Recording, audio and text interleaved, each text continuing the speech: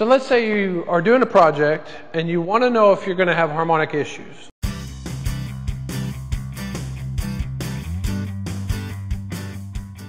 First step really is to understand what you're adding to your system, whether it's an existing system or a new construction system that you're adding. Are you even adding nonlinear loads? A bunch of variable frequency drives or rectifiers, vehicle chargers, who knows what. Something that could cause harmonics. If you are, then obviously you should take it to the next step, which is what is that harmonic current on my system going to do and potentially cause problems?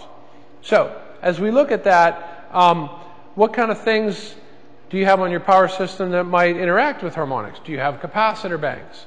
Do I need to think about harmonic filters and things like that? So if I have um, nonlinear loads in the system, what things could go wrong?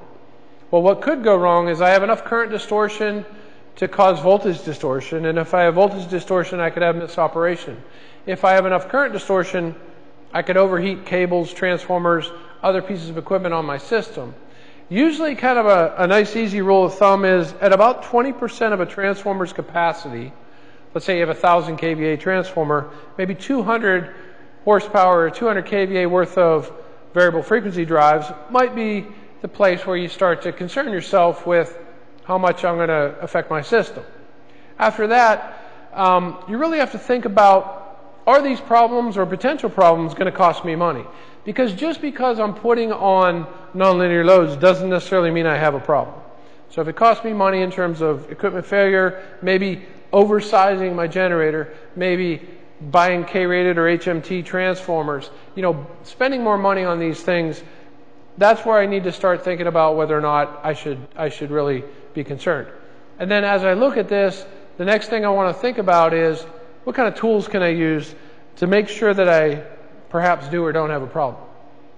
One of the things that's easy at or uh, www.eaton.com forward slash harmonics, there's a harmonics calculator there that you can estimate some things related to um, you know, whether or not you're going to have an issue with voltage or current distortion. Then, of course, you can always model the power system. And in modeling the power system, um, we, we actually can simulate with just a small four, five, six bus system the harmonic loads or the current sources of harmonics and the system bus loads that are going to be things that are going to interact with other loads and perhaps the utility and determine the IEEE limits and all kinds of things like that alongside all of this is if you do have an existing system or you have a system that you're adding things you know over time you do want to do some measurements. So you want to understand what those measurements are telling you as to determine whether or not you're going to have a problem. And, the, and it's going to be voltage measurements it's going to be current measurements to try to understand what those limits and levels um, are going to tell you. And then finally really just there's, there's several people out there that you can talk to try to get the advice of people that have done this before, and also really go back to existing projects that you've done that may be similar enough and perhaps look at measurements from those to determine if your project that you're, you're working on now, adding to a new or existing system or creating a brand new new construction system, if you're going to have harmonic issues in that project.